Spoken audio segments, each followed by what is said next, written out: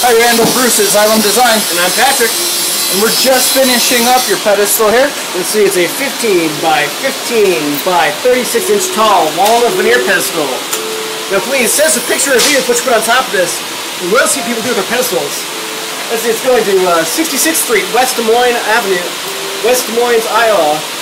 So uh, look out for that FedEx truck, and uh, have a good day. And thank you for your business.